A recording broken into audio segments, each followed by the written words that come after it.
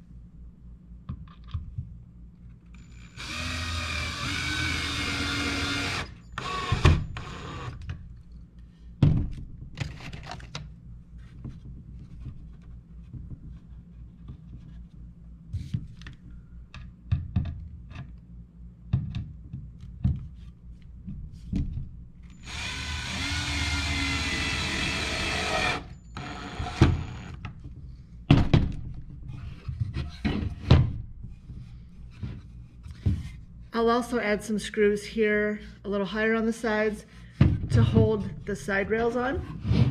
But now all you need to do is pre-drill and add your roof.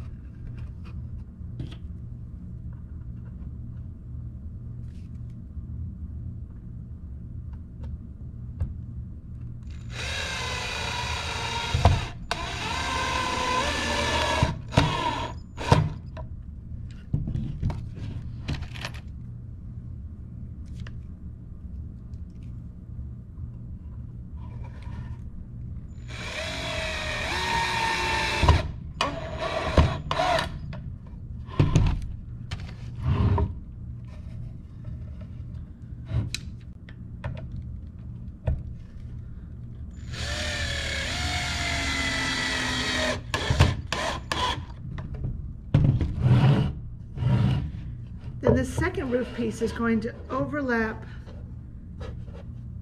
and become your peak at the top. It is going to leave um, a slightly different overhang between the right and the left side, but that'll be perfect because that way it'll accommodate the taller birds and the shorter birds, and it will also keep your seed nice and dry inside.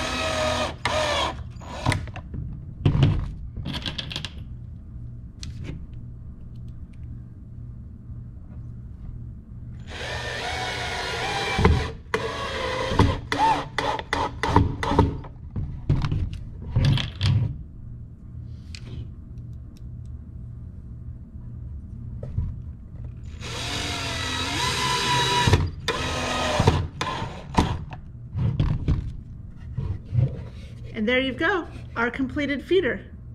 Now, if you'd like to paint it or stain it, uh, feel free to do that.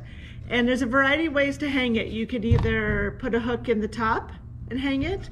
You could put holes on the side and put a rope through, or you could mount it to um, the top of a post, depending on what kind of situation you have in your yard.